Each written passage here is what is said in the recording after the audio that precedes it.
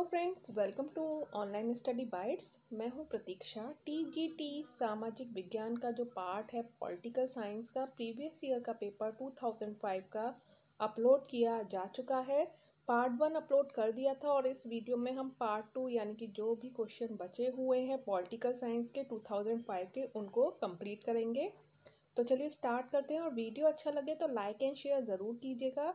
आपके लिए इंपॉर्टेंट है। अगर आप T G T P G T या कोई भी ऐसा एग्ज़ाम देने जा रहे हैं जिसमें पॉलिटिकल साइंस आता है तो इस तरह के क्वेश्चंस आपके आने वाले एग्ज़ाम में आ सकते हैं।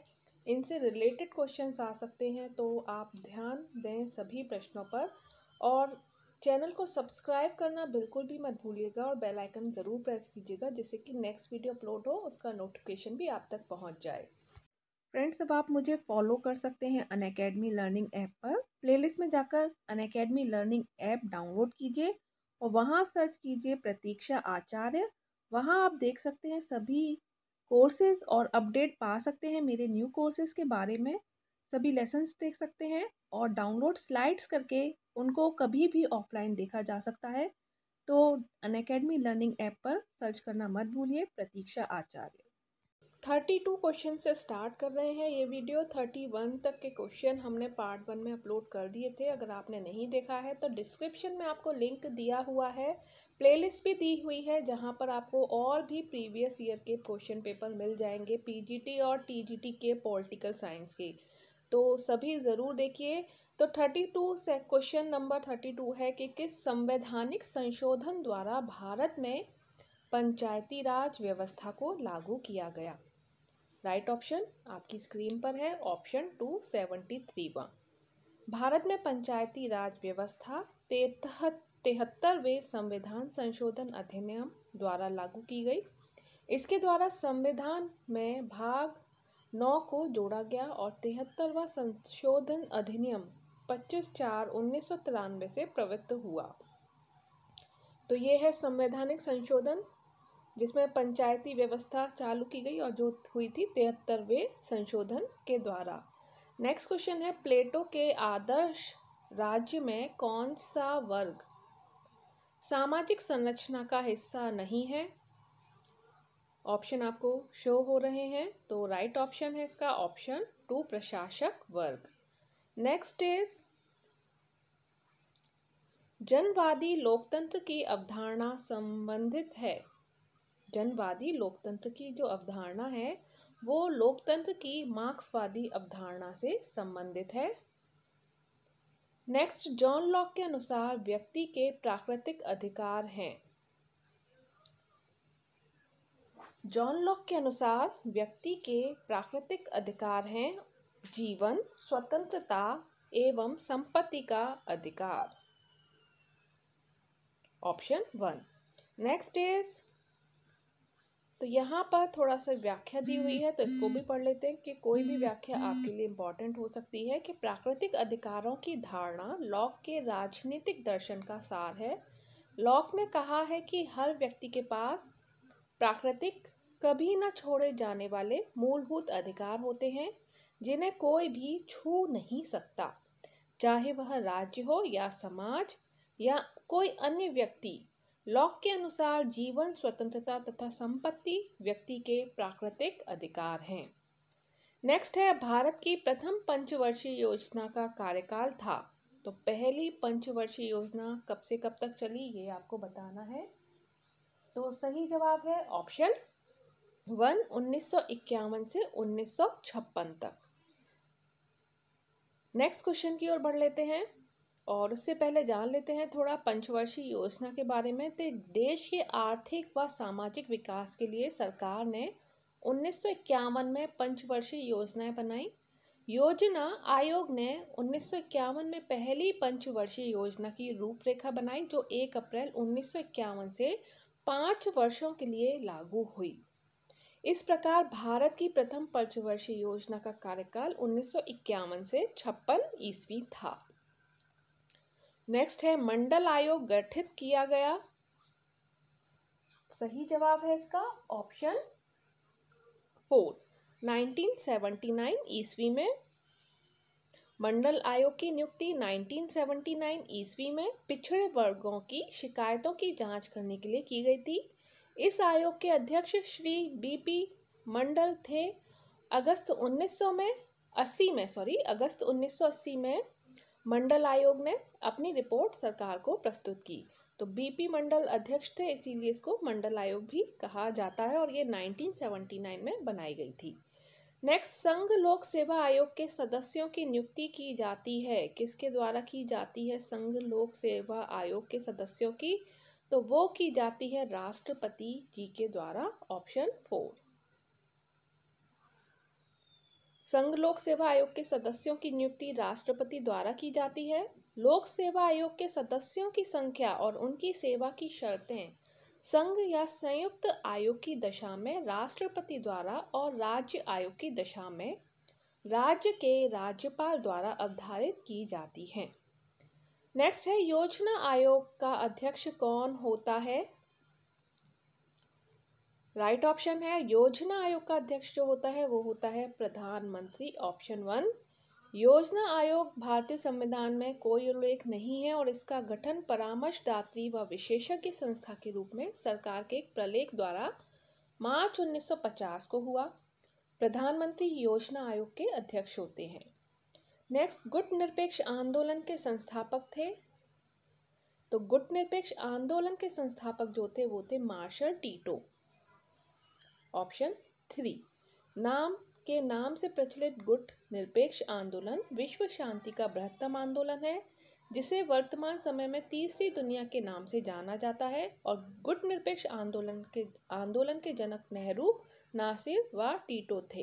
तो यहाँ पर ना नेहरू का नाम है ना नासिर का नाम है इसीलिए मार्शल टीटो आंसर दिया गया है। अगर यहाँ नासिर का होता तो नासिर आंसर होता नेहरू जी होते तो नेहरू जी का आ, नाम होता राइट ऑप्शन के तौर पर। तो यहाँ आंसर है मार्शल टीटो, अगर तीनों ही हैं तो ऑप्शन फोर हो सकता था, ऊपर, उपरयुक्त सभी। तो ये आप ध्यान रखिए गुट निरपेक्ष आंदोलन से संबंधित है, नेहरू, नासिर व टीटो। नेक्स्ट क्वेश्चन की ओर बढ़ते हैं, भारत के प्रथम उप प्रधानमंत्री थे। तो उप प्रधानमंत्री थे डॉक्टर सरदार, सॉरी, वल्लभ भाई सरदार पटेल। ऑप्शन थ्री, और प्रधानमंत्री थे जवाहरलाल नेहरू और राष्ट्रपति थे पहले doctor Rajendra Prasad. Next question है, राज्य के नीति निर्देशक तत्व का एक ऐसा चेक है जिसका भुगतान बैंक की इच्छा पर है। ये क्वेश्चन इंपॉर्टेंट है, कई बार एग्ज़ाम में पूछा गया है पीजीटी में भी पूछा गया है और टीजीटी में भी पूछा गया है।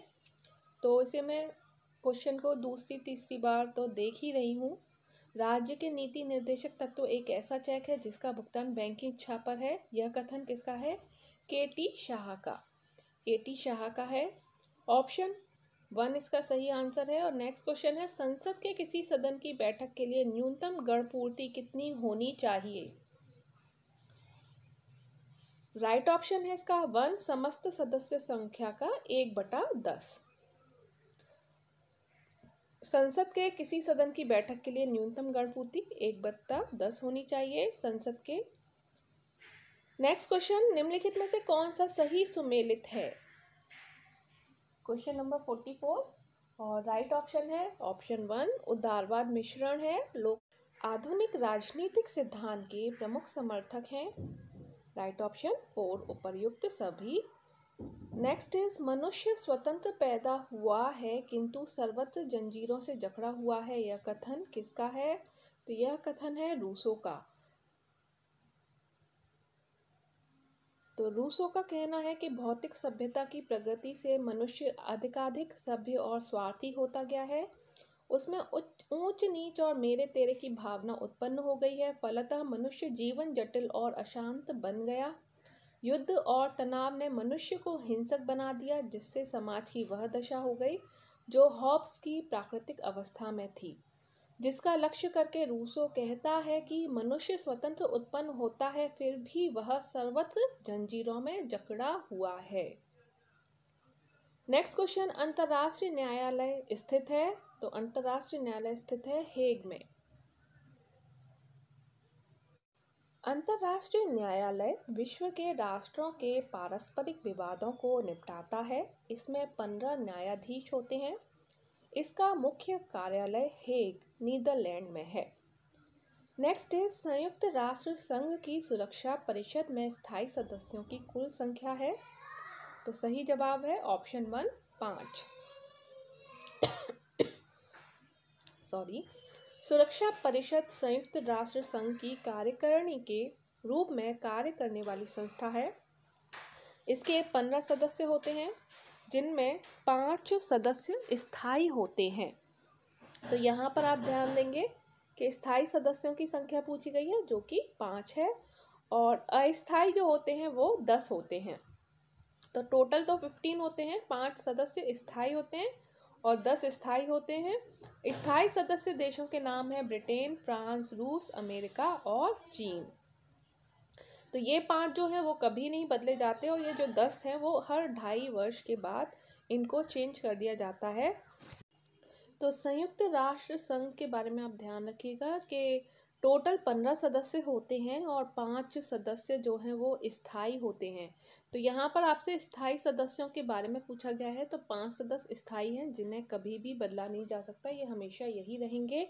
और जो दस अस्थायी सदस्य होते हैं, वो चेंज होते रहते हैं। और पाँच स्थायी सदस्य देश हैं, ब्रिटेन, फ्रांस, रूस, अमेरिका और चीन। तो आप यूएनओ यानी कि संयुक्त राष्ट्र संघ जिसको यूनाइटेड नेशन ऑर्गेनाइजेशन बोला जाता है, इसके बारे में आपको सारी जानकारी ले लेनी है। इसका जो मुख्यालय है वो न्यूयॉर्क में है, ये भी आप ध्यान रहे न्यूयॉर्क में इसका मुख्यालय है। और एक अच्छी बात यह है कि यहाँ पर जो संयुक्त राष्ट्र संघ में हिंदी में जो भाषण दिया था तो हिंदी में भाषण देने वाले प्रथम व्यक्ति जो थे वो थे अटल बिहारी वाजपेयी जी। तो इसके बारे में आप सभी जानकारी ज़रूर ले लें। अगर नहीं है तो मैं वीडियो अपलोड कर दूँगी, अगर आप लोग कमेंट में बताएँगे तो। तो सारी जानकारी आपको यूएनए के बारे में कर लेनी है। दो, एक, दो क्वेश्चन ज़रूर आते हैं। नेक्स्ट क्वेश्चन है, भारतीय संविधान के किस अनुच्छेद का संबंध वित्त विधेयक से है? Right option three one zero nine next is लोकतांत्रिक विकेंद्रीकरण से तात्पर्य है। सही जवाब है वन, पंचायत राज की स्थापना। लोकतांत्रिक विकेंद्रीकरण से तात्पर्य पंचायती राज की स्थापना से है, जिसका उल्लेख संविधान में अनुच्छेद 40 के रूप में किया गया है तथा जिसे तिहत्तरवें संविधान संशोधन द्वारा उन्नीस सौ तिरानवे में लागू किया गया। नेक्स्ट है सामुदायिक विकास कार्यक्रम का आरंभ किया गया था। तो सही जवाब है ऑप्शन टू सन उन्नीस सौ ईस्वी में। उन्नीस सौ ईस्वी में किया गया था सामुदायिक विकास कार्यक्रम। धर्म निरपेक्षता से तात्पर्य है। राइट ऑप्शन है इसका। धर्म निरपेक्षता से जो तात्पर्य है, सही जवाब है इसका ऑप्शन थ्री राज्य का कोई धर्म ना होना। राज्य का कोई धर्म नहीं होता। और धर्म निरपेक्षता से तात्पर्य यह है कि राज्य सभी मतों का समान रूप से रक्षा करेगा और स्वयं किसी भी मत को राज्य के धर्म के रूप में नहीं मानेगा। नेक्स्ट है, राष्ट्रीय पार्टी की श्रेणी प्राप्त करने के लिए किसी भारतीय राजनीतिक पार्टी को कम से कम कितने राज्यों से मतों के आधार पर मान्यता प्राप्त करना आवश्यक है? राइट ऑप्शन फोर नेक्स्ट है, केंद्र राज्य के मध्य शक्तियों का बंटवारा संविधान की किस अनुसूची में दिया गया है? सही जवाब है, सातवीं अनुसूची। तो केंद्र राज्य के बीच शक्तियों का वितरण संविधान की सातवीं अनुसूची में दिया गया है। इस से भारत सरकार अधिनियम 1935 से लिया गया था। संघ सूची निन्यानवे मत, राज्य सूची इकसठ मत तथा संवर्ती सूची बावन मतों का विवरण मिलता है। नेक्स्ट है, भारत में सर्वोच्च न्यायालय के न्यायाधीशों की कुल संख्या कितनी निश्चित की गई है? सही जवाब है ऑप्शन टू, छब्बीस। ऑप्शन टू, छब्बीस। और पच्चीस से अन्य न्यायाधीशों से मिलकर बनेगा। नेक्स्ट है, भारतीय संविधान के किस अनुच्छेद में संविधान संशोधन प्रक्रिया उल्लिखित है? तो बताना है किस अनुच्छेद में संविधान संशोधन प्रक्रिया उल्लिखित है। सही जवाब है इसका ऑप्शन टू तीन सौ अड़सठ। तो भारतीय संविधान के अनुच्छेद तीन सौ अड़सठ में संविधान संशोधन प्रक्रिया का उल्लेख मिलता है, जिसके अनुसार संविधान के सभी संशोधनों के लिए संघ की संसद में विधेयक विशेष बहुमत से पारित किया जाएगा। निम्नलिखित युग्मों में से कौन सा युग्म सही सुमेलित नहीं है? तो ये है भारत संघात्मक और ऑस्ट्रेलिया संघात्मक, अमेरिका संघात्मक, ब्रिटेन संघात्मक। तो यहाँ पर ब्रिटेन सुमेलित नहीं है क्योंकि भारत, ऑस्ट्रेलिया और अमेरिका में संघात्मक शासन व्यवस्था है, जबकि ब्रिटेन में एकात्मक शासन व्यवस्था।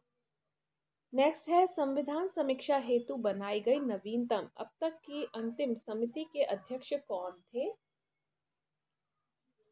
राइट ऑप्शन टू है जस्टिस वेंकट चलैया उच्चतम न्यायालय के मुख्य न्यायाधीश एम एन वेंकट चलैया की अध्यक्षता में 11 सदस्यीय संविधान की समीक्षा आयोग का गठन 22 फरवरी 2000 को किया गया।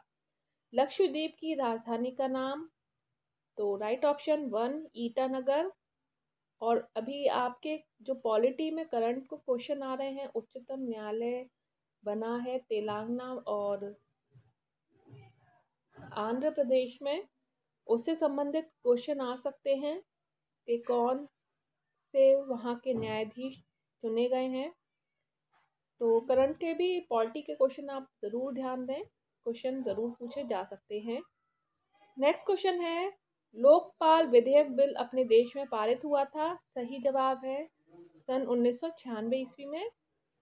नेक्स्ट है प्रजातांत्रिक समाजवाद की अवधारणा को किसने विकसित किया था? सही जवाब है two Ram Manohar Lohia. Next is लोकतंत्र की सफलता के लिए कौन सी दलीय प्रणाली सर्वाधिक उपयुक्त है? राइट ऑप्शन टू द्वे दलीय। नेक्स्ट इज़ संयुक्त राष्ट्र संघ का सचिवालय स्थित है। तो ये भी आपको बताया था तो मैंने कहा है कि संयुक्त राष्ट्र संघ यानी कि यूएनओ से संबंधित आप सभी क्वेश्चन ज़रूर देख लें। दो तीन क्वेश्चन आपसे ज़रूर पूछे जा सकते हैं। तो राइट ऑप्शन टू न्यूयॉर्क तो इस समय यूएनओ के जो सचिव हैं, महासचिव हैं, वो हैं पुर्तगाल के एंटोनियो गुटरेशे तो ये भी आप ध्यान रखें पूछा जा सकता है वर्तमान महासचिव कौन है। तो फ्रेंड्स यहाँ पर पॉलिटिकल साइंस का पेपर जो है वो कंप्लीट होता है 2005 का। अभी के लिए इतना ही। जल्द से जल्द और भी पेपर अपलोड किए जाएँगे। साथ ही आपके मॉक टेस्ट पेपर भी अपलोड किए जाएँगे। तो चैनल को सब्सक्राइब करना ना भूलें। बेल आइकन पर प्रेस करें। Bye bye take care and thanks for watching.